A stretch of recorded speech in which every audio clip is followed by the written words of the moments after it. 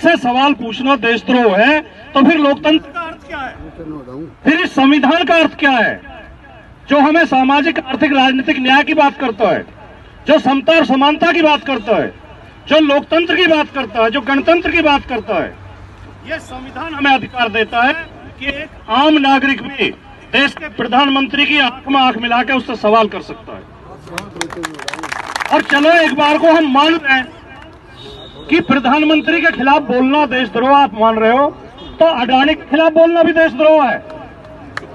अभी जब कल परसों अडानी का घोटाला खुला, नौ लाख करोड़ रुपए का घोटाला खुला, आम जनता की जेब से, स्टेट बैंक की जेब से, एलआईसी की जेब से नौ लाख करोड़ रुपए निकाल के उनका घपला कर गए तो जो अडानी वो भी देशद्रोही हो गए। वो भी तिरंगा लेके खड़ा हो गया। क्या ये मेरे ऊपर नहीं है? भारत के ऊपर हमला है। इस नैरेटिव को समझने की ज़रूरत है। इस इस साजिश को समझने की ज़रूरत है। थोड़े अपने दिमाग खोलना और घर जाकर विचार करना। जब रात को लेटो चार पाई पे कि कहीं हम फंसाए तो नहीं जा रहे हैं। साथियों, अभी एक पत्रकार रिहा हुआ है। सिद्दीक कप्पन नाम है उसका, केरल का पत्रकार। हाथरस में एक दलित लड़की के साथ रेप हुआ। उसकी हत्या कर दी गई। पुलिस ने रात को दो बजे उसके घर वालों पर लाठी चला के उसकी डेड बॉडी मिट्टी का तेल डाल के जला दी। उसकी रिपोर्टिंग करने के लिए केरल लागू बहकाते हैं। चाहे वो पूंजी के शीर्ष पर बैठे हों, पूंजीपति और उद्योगपति हों, वे सारे तुम्हारे खिलाफ एक हो जाते हैं। जब तुम में से एक बोलता है तो वो सारे एक सुर में कहने लगते हैं, ये देशद्रोही है गद्दार है, इसे जेल में डालो।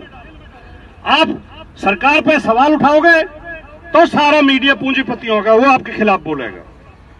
और अगर कोई मीडिया बोलेगा भी आपके खिलाफ तो एक पूंजीपति उसे भी खरीद लेगा। एक एक चैनल था जो आपके पक्ष में बोलता था, एनडीटीवी, उसे भी प्रधानमंत्री ने खरीद लिया।